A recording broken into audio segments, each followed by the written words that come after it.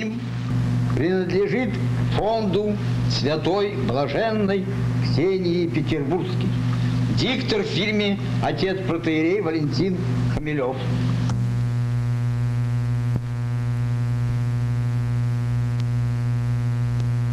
Программа торжеств прославления блаженной Ксении Петербургской. Богослужение происходит в Синодальном соборе Знамения Божией Матери городе Нью-Йорке, Соединенные Штаты Америки. В субботу, 23 сентября 1978 года в 6 часов вечера последняя панихида по блаженной Ксении Петербургской. В 6.30 вечера всеночное бдение с чином прославления. Воскресенье 24 сентября в 9.30 утра божественная литургия и первый молебен святой блаженной Ксении Петербургской. В два часа дня торжественно-духовно-молитвенная трапеза в нью-йоркском отеле «Хильтон». На торжество прославления съехались богомольцы из самых разных мест рассеяния русских православных людей. Кроме Америки, в Нью-Йорк прибыли паломники из Канады, Европы и даже далекой Австралии. Несмотря на такое большое количество приехавших, благодаря огромному духовному подъему молящихся, все проходило хорошо и организованно.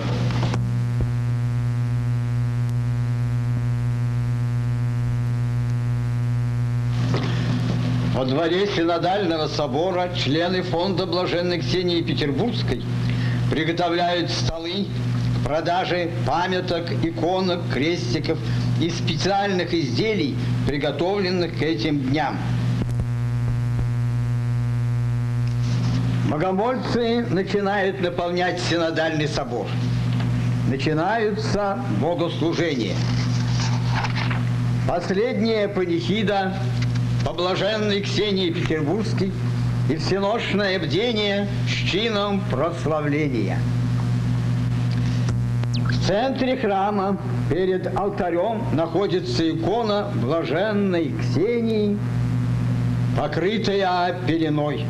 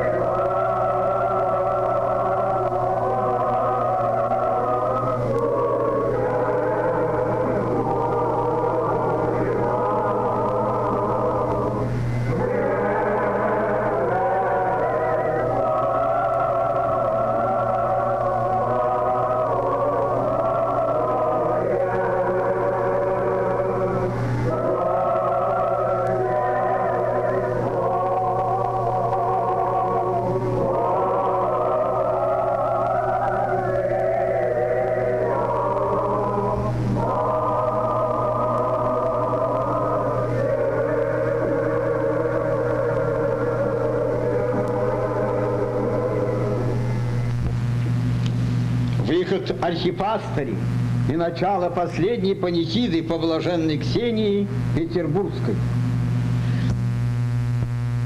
Воскресенье, Бог твой, Будь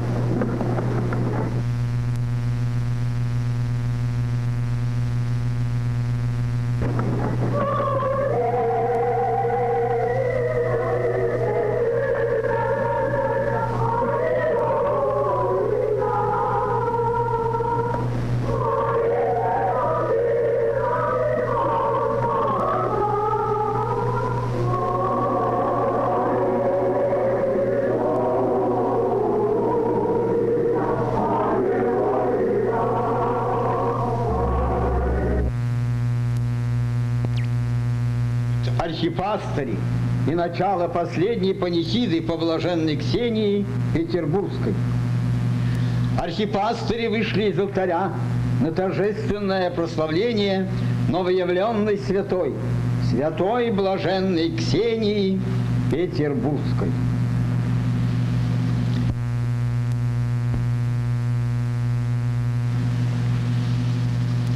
Все архипастыри заняли свои места. Владыка митрополит роздал свечи. Затем владыка митрополит подойдет к иконе и разрежет ленты, которыми повязана пелена.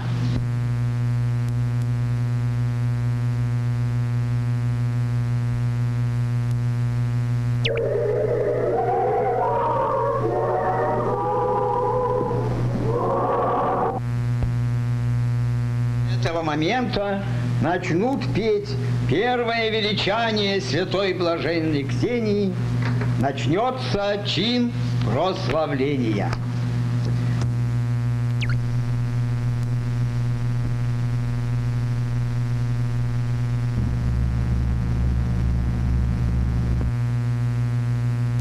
Владыка митрополит осенил себя крестным знамением и разрезает ленты и открывает образ новопрославленной святой. Воскресенье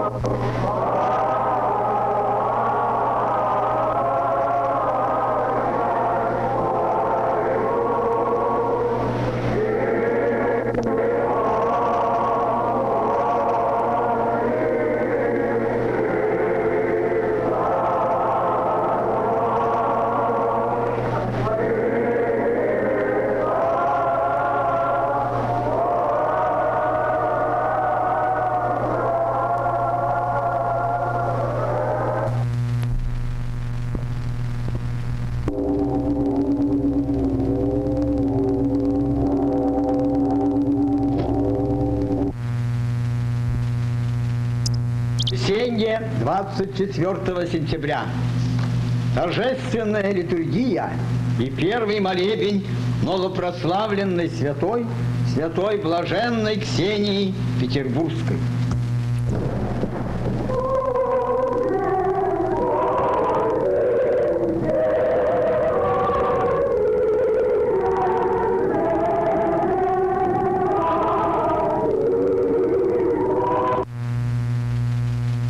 Митрополит благословляет богомольцев. Икона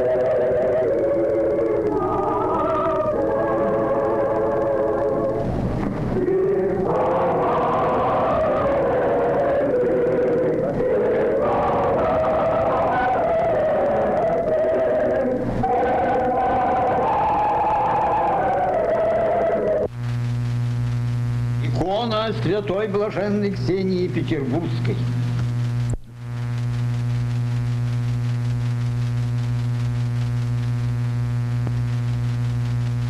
Будут показаны только те части божественной литургии, которые церковная власть признает возможным снимать и показывать.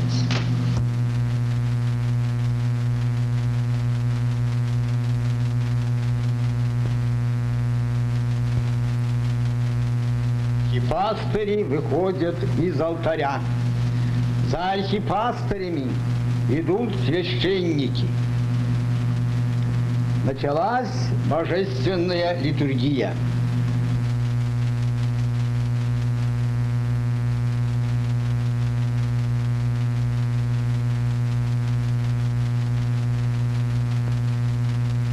Как синодальный собор был до отказа переполнен молящимися, часть молящихся находилась во дворе собора, куда специально были проведены громкоговорители, при посредстве которых передавалась служба. Пел усиленный хор под управлением Александра Летковского.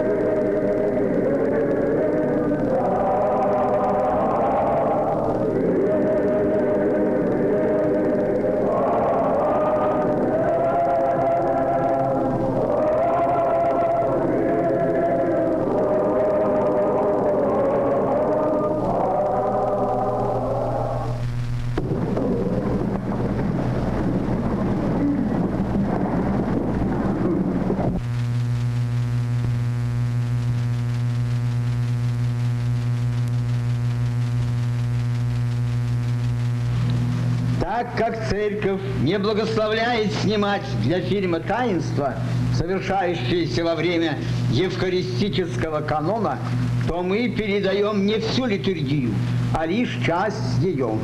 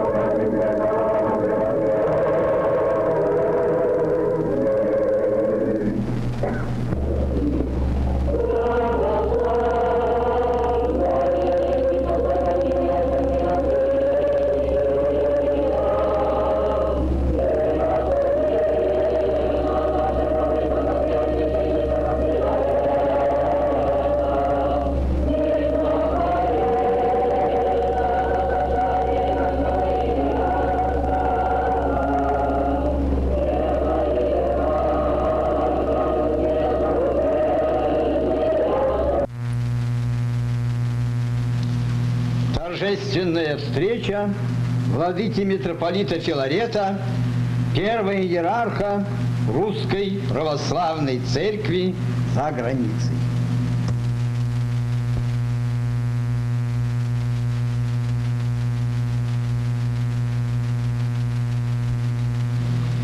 Архипастыри выходят из алтаря, берут свои жезлы и идут, чтобы приветствовать первого иерарха.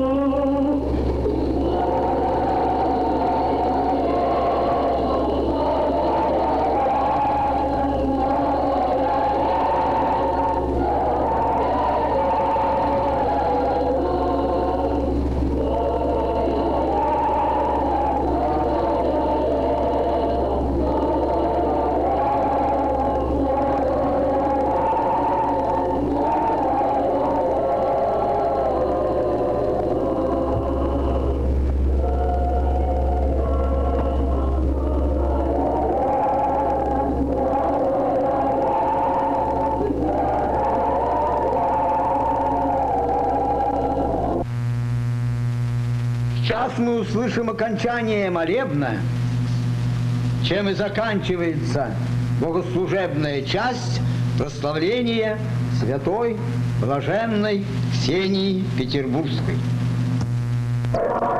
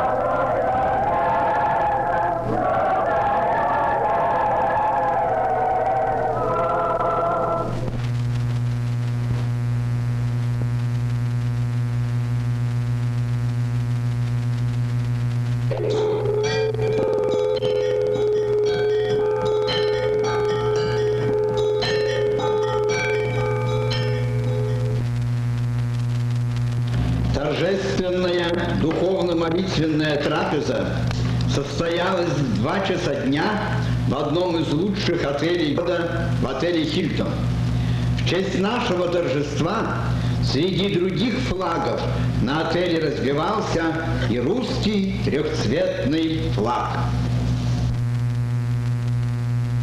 Устройство трапезы в отеле а не в каких-нибудь церковных залах, было вызвано необходимостью вместить в одном зале свыше 850 человек, обеспечив их угощением и обслуживанием. Тот же исключительный духовный подъем, который наблюдался во время торжественных богослужений в Синодальном соборе, где служило 15 архиереев и 65 священнослужителей, включая диаконов, и присутствовало около полутора тысячи молящихся. Этот подъем царил и в течение всей духовно-молитвенной трапезы.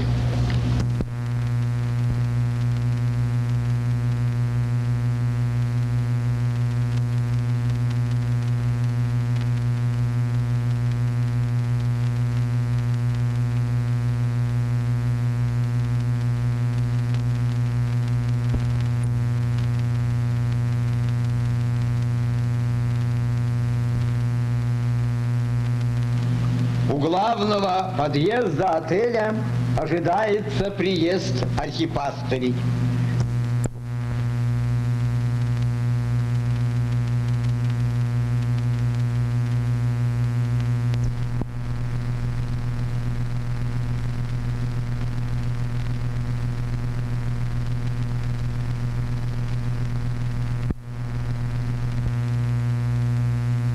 Речи иконы новопрославленной святой, которая переносится в зал трапезный.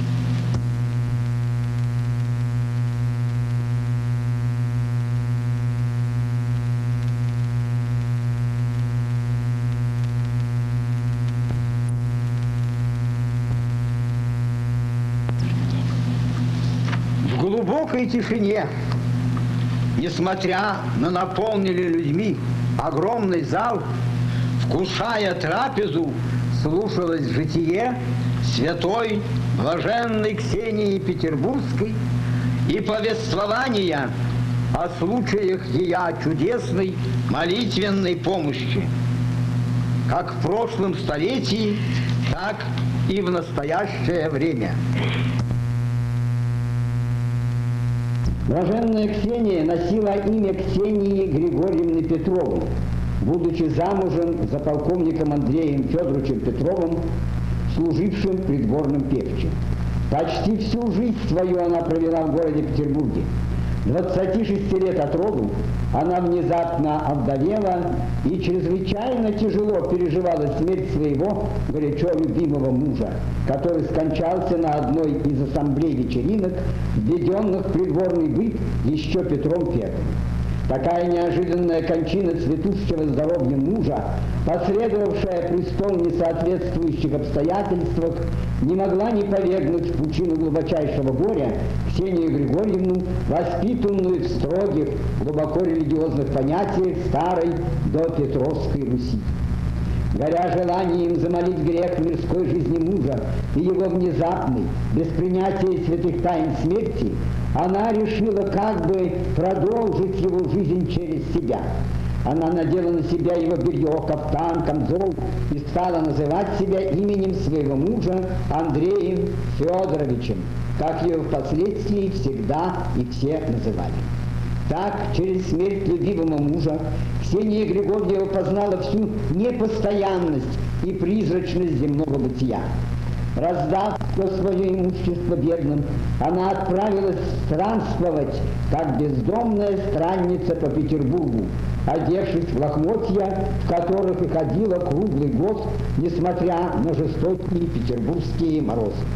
Жители Петербурга, являясь свидетелями подвижнического образа жизни, искренне почитали ее, чувствуя величие духа, презревшее все земное ради Царства Небесного. Спустя некоторое время блаженная Ксения неожиданно исчезла из Петербурга и отсутствовала целых восемь лет. В течение этих лет она находилась у старцев-подвижников того времени. У них она духовно усовершенствовалась и восприняла суть истинно духовной жизни, что ей помогло стать на путь такового трудного подвига, которым является ее родство Христа ради. Тогда и обнаружился и дар ее прозорливости, который проявился затем в течение всей ее последующей жизни. Блаженная предсказывала в иносказательной форме события, касающиеся не только петербургских обитателей, но и лиц царствующего дома. Заслуженно она стала почитаться в народе за угодницу Божию.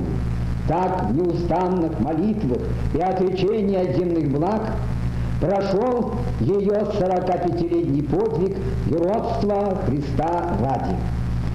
Похоронена она в Петербурге, на Смоленском кладбище, на котором находится церковь иконы Смоленской Божьей Матери. Когда началось почитание блаженной Ксении по смерти, точно неизвестно. Но самый факт народного усердия, приводящий с годами к ее могиле, все возрастающее количество людей доказывает, что действительно люди и горя, и всяческих житейских затруднений находили там помощь.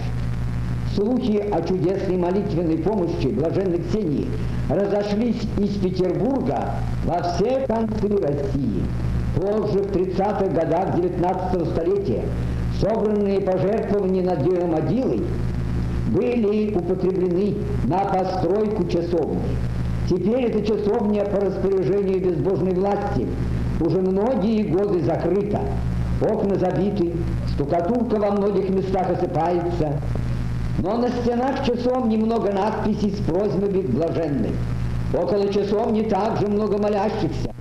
Одно окно часовни является наиболее почитаемым, так как за ним непосредственно в середине часовни находится могила блаженной Ксении.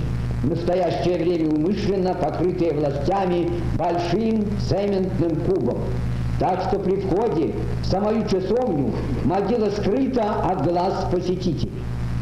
Надгробие, плита с надписью снята с могилы и находится в антирелигиозном музее, помещающемся в бывшем Казанском соборе, но не заросла к могиле блаженной Ксении народная тропа. И в настоящее время многие-многие люди идут своим горем и молятся на месте последнего упокоения блаженной Ксении.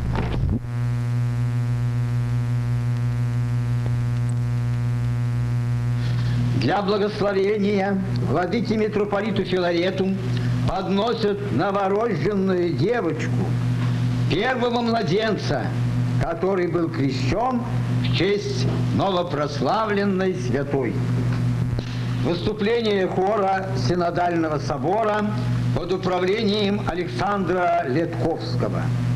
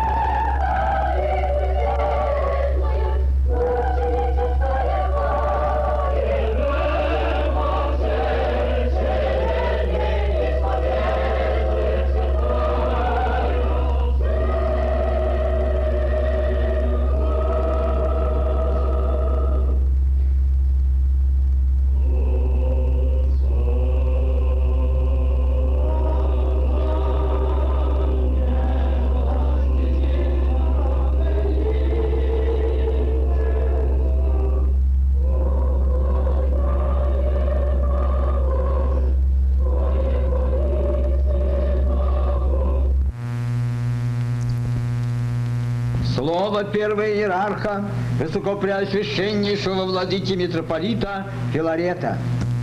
В доброе старое время, но и в наши сложные, многотрудные, многоскорбные дни жизни сплошь и рядом наблюдается такое явление. Живет какой-либо мужчина, женщина, юноша, девушка, живет полнотой теперешней, светской, как будто бы многосодержательной, а в то же самое время духовно совершенно пустой жизни. Живет, пьет жизненные наслаждения, что называется, по всем каналам. Все в его жизни есть. И телевизия, и бесстыдные пляжи, и прочее, и прочее, и прочее. Но вот бывает, что, как говорят, божественный глагол до сердца его коснется. И видит окружающие странную перемену. Человек этот совсем перестает интересоваться тем, что его интересовало и увлекало раньше. Вы его уже не увидите ни в театрах, ни в кинематографе, ни перед телевизором, ни на пляже, нигде вы его не увидите. И не в том дело, что он бы с какой-либо мукой отрывался от этого, хотя бы его и тянуло. Нет. Вдруг все это стало ему неинтересно. А вот церковь вы теперь увидите всегда. На религиозной беседе где-либо он одним из первых является и внимательно слушает. На столе его исчезли все эти пустые, а часто и бесстыдные журналы, а там появились книги религиозного содержания, и вся его жизнь явно переменилась. Подшучивают окружающие, иногда же их раздражает эта перемена, а он уже или она твердо идет, но взятым новым путем. И вот такая-то перемена только в максимальном, так сказать, размере и произошла с той великой подвижницей русской земли, которую ныне зарубежная церковь прославила. Отвернулась Ксения совершенно от той жизни, в которой, к которой она раньше принадлежала, и зажила новой жизнью. Конечно, то, как она жила, это максимализм духовный. Она принадлежит к числу тех людей, о которых когда-то говорил преподобный Симеон Новый Богослов, что они как гиганты проходят между обезьянов. Но если не всем быть такими гигантами, то во всяком случае эта необыкновенная женщина дала нам пример того, как нужно прежде всего ценить единое на потребу, ценить вечное, а не временное, духовное, а не материальное. И вот ныне зарубежная церковь прославила ту, которая у Бога давно уже прославлена. Не забудем мы с вами того, что церковь не делает человека святым, она только смиренно указывает своим чадом на то, что человек, прославляемый ныне, действительно Божий угодник или Божия угодница, и церковь этим благословляет прямо обращаться к нему с молитвенным, за молитвенным ходатайством, так как и к другим угодникам Божьим.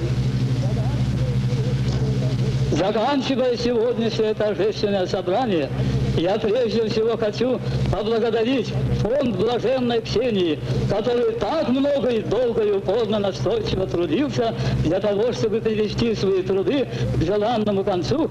И, наконец, этот желанный конец наступил.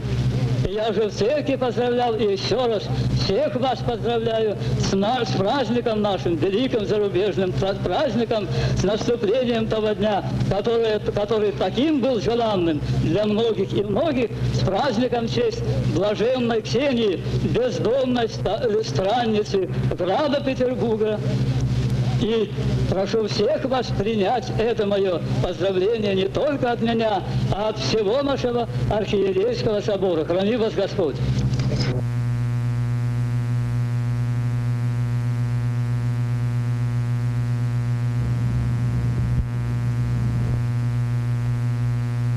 Владыка митрополит, закончив свое слово и благословив присутствующих, покидает зал.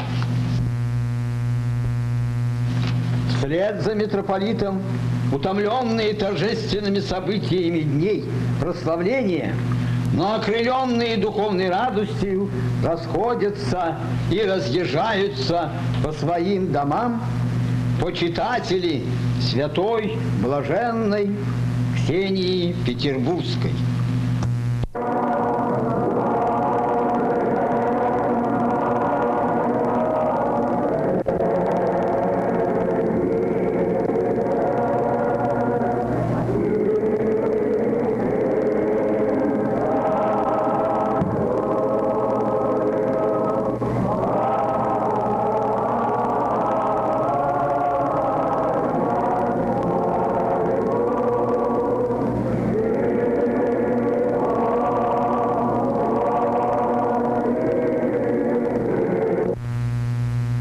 Несмотря на то, что этот фильм является только любительским фильмом, он представляет собой большую историческую ценность, так как здесь впервые торжества прославления нашей Отечественной Святой запечатлены на фильме. И ценность его будет все увеличиваться по мере удаления дня этого священного и исторического события.